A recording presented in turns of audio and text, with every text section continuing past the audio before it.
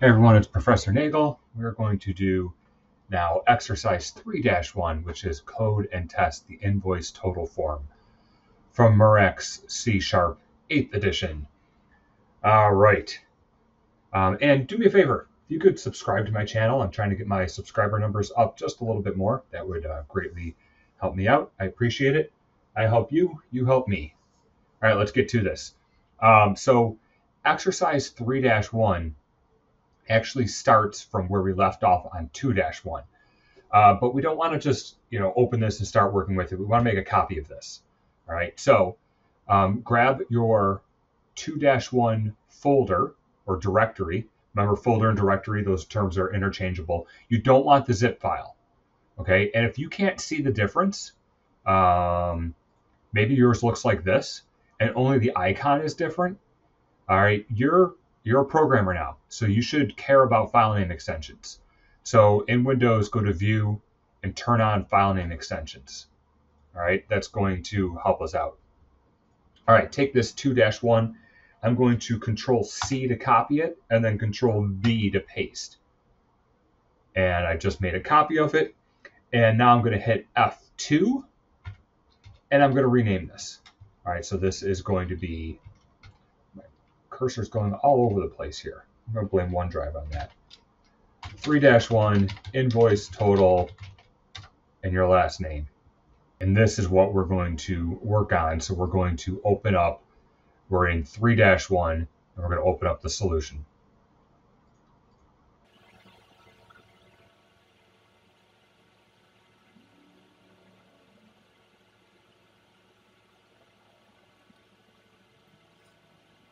All right, so this is our lovely form that we made um, last chapter, and we're going to make this uh, functional. Let's get to it. And if you don't see your form here, if it opened up like this, um, find your FRM invoice total, double click on that, and here's your form.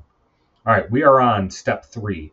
Display the invoice total form in the form designer. That's what this is. Double click on the calculate button to open the code editor and generate the method declaration for the click event of this object. So your calculate button right here, double click on it. And now we have the method that is going to run when somebody clicks on that button. And let me make this a little bit bigger for both you and I. And because we're working with code, we're not adding any more elements to our form. I'm going to take the toolbox, and remember, I have it pinned right now, so it's always open. I'm going to set it to auto hide. So I'm going to hit that middle pin so it goes away. And to finish up step three, um, enter the code for this method as shown in figure 3.6. And as we code um, figure 3.6, which I'm loading up right now, we're going to try to use uh, keyboard shortcuts and IntelliSense and all sorts of shortcuts to help us code quicker. All right, so we are in the private method btn calculate underscore click. You should not type this out. All right, remember, this was generated because we double clicked on the calculate button. Okay. So the first thing we're going to do is we are going to declare a decimal. And look, I started typing DE, and this is the autocomplete options. And I like decimal. That's what I'm looking for. So I hit tab. Called subtotal, subtotal, and that's going to be equal to, um, and this autocomplete, uh, that worked pretty well. Man, I, I really wish it wasn't that great, but it is. So um, it's not perfect. I don't want to use decimal.parse. I'm going to use convert dot to decimal. Yep, that's what I want. Man, this autocomplete is good, but it's not perfect. Um, to decimal, and what we're going to load is the txt subtotal box dot text. And remember, C sharp commands end with a semicolon. All right, so there was quite a bit of autocomplete there to help us out. But what we're doing is we're finding the txt subtotal box on our form. That's this one right here. We're taking the text property of it, whatever the user entered, and we convert that to a decimal and store that into subtotal. All right, and then um, decimal discount percent is going to be equal to zero with an M after it. So this M, um, think about that M like money, all right? um, any decimal values, even this is a percent, it's not money, but if you want a decimal value, um, you have to put that M next to it. All right, now we're going to check to see, um, and actually, like it doesn't really matter what um, this code is doing. We're not really learning what it's doing. We're just entering code. So I told a story about how when I started coding, um, I used to get a magazine in the mail. This was, oh, back in like the late 80s, early 90s. And we would, that autocomplete went a little crazy. Else if, um, we would just follow along what was in the magazine and we would have a new application. So right now, pretend you're kind of working from a magazine and we're just randomly, not randomly, but we're just blindly following along, copying the code here. All right, so you should be at this point right now. Um, and the next section we're going to put in here is very similar to this section right here. So I'm going to take my cursor, see my cursor moving around. I'm going to go on the line above where I want to start copying and then hit the right arrow. So my cursor is at the beginning of that line. I'm going to hold down shift so I can select these lines and hit down. I want to select this line, this one, this one, and this one. And I want to take this code block that I have highlighted and I want to copy and paste it.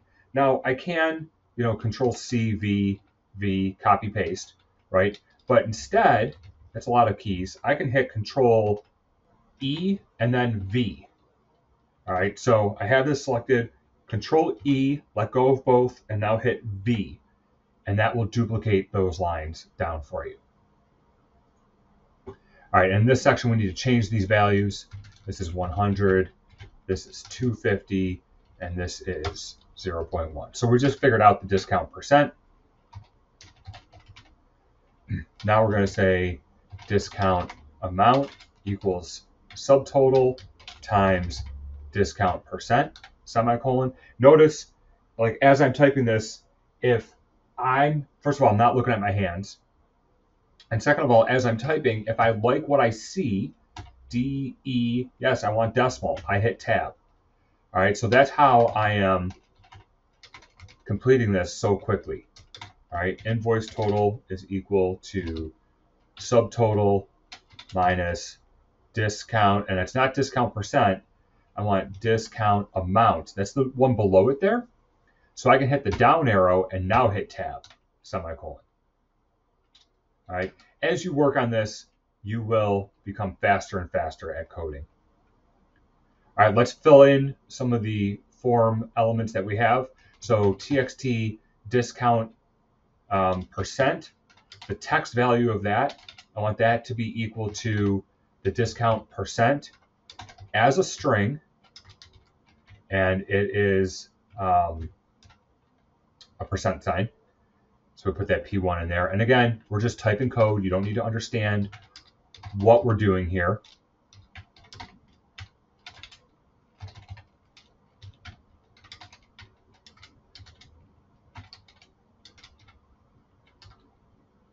And txt total.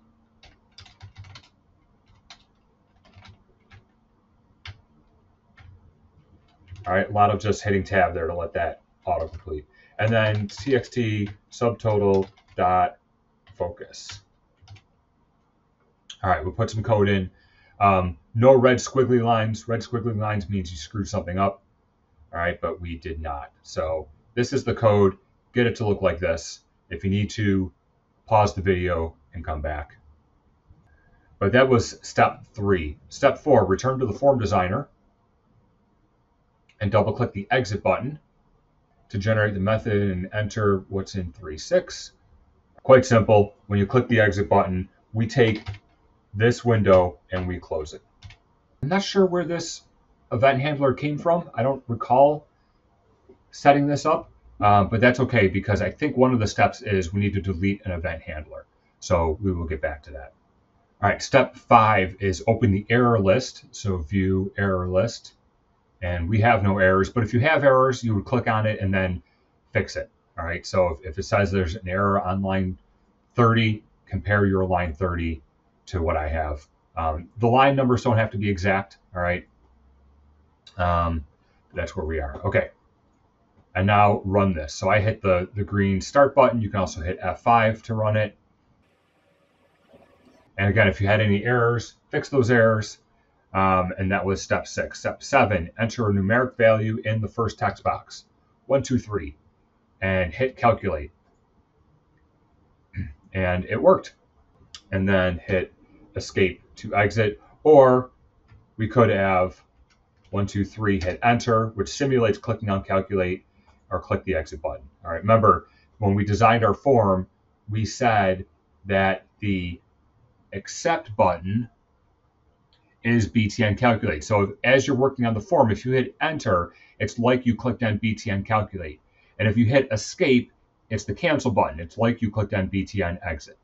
All right, those are doing the same things. All right, that was step seven. Step eight is enter invalid data and click calculate. And now we are in break mode. And it's telling us that XX is not in the correct format. You cannot take XX and convert it to a decimal.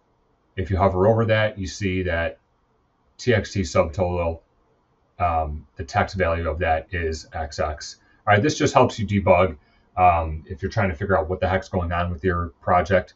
That's what this is for. All right, and we're going to learn more about debugging in the future. So we want to stop the debugger, which is this red X right here.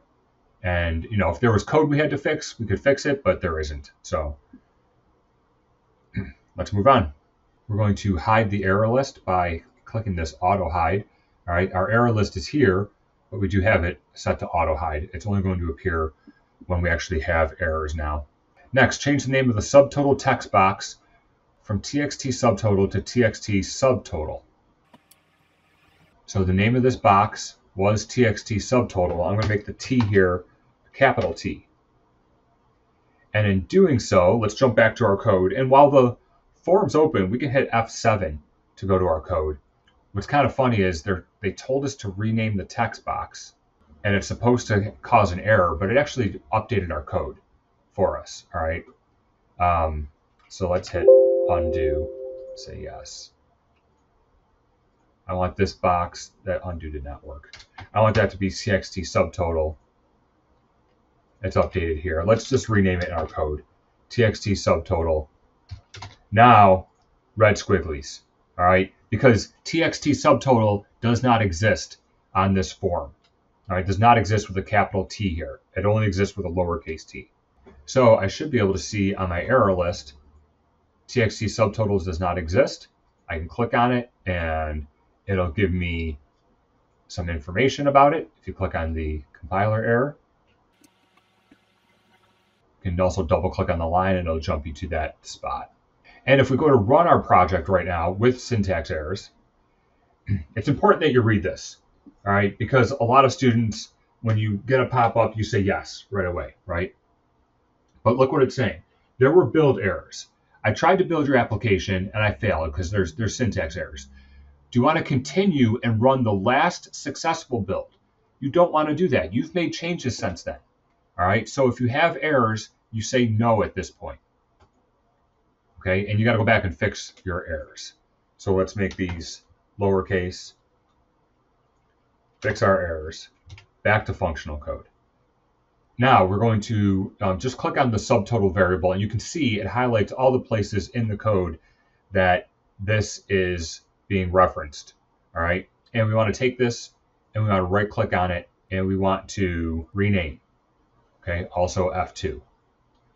I want to rename subtotal to invoice subtotal. All right. And you can see you get a nice preview of where it was updated. Um, if your comments, if you have comments in your code that talk about this, um, you can say, yeah, re- rename it in comments too. If you have that mentioned in strings, uh, you typically wouldn't, but you can do that as well. So I'm happy with the preview that I see back here. Hit enter, and now it's been updated in eight spots all at once. All right, so that's how you would rename a variable.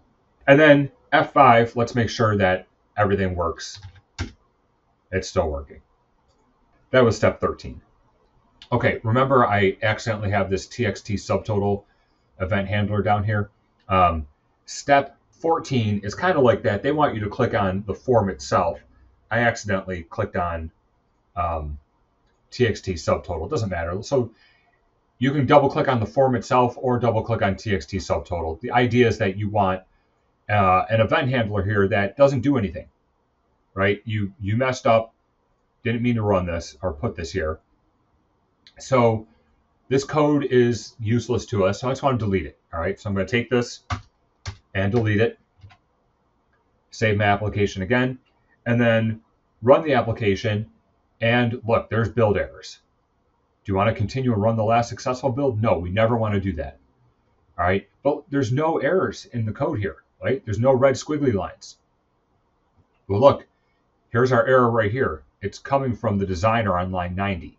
Let's double click on that and go over here. Here is the wire for the event handler. All right, it's saying that when the TXT subtotal box is changed, run this method. And this method doesn't exist anymore.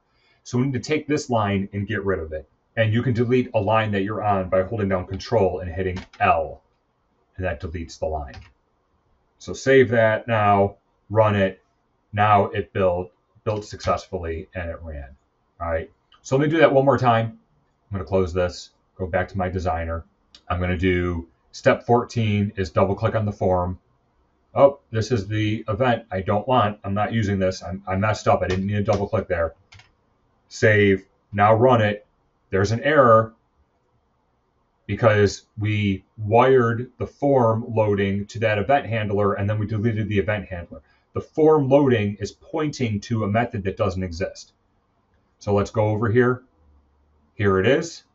Control L to delete that line, save it, and now we can run it just fine. Okay, that was steps 14, 15, 16, 17, 18. We're almost done. I mean, we kind of are done. Step 19 is close Visual Studio. All right, we saved everything. We obviously ran it one more time before we closed the application because we want to make sure that it worked. My Visual Studio is trying to update. Um, so this is what we were just working on. All right. I want to go up a directory. So I'm going to hit the up arrow here. I'm going to take this 3-1 folder, right click on it, send to compressed zip folder, and this zip file is what's being submitted for exercise 3-1. Good job. Remember, subscribe. I help you, you help me. Thank you.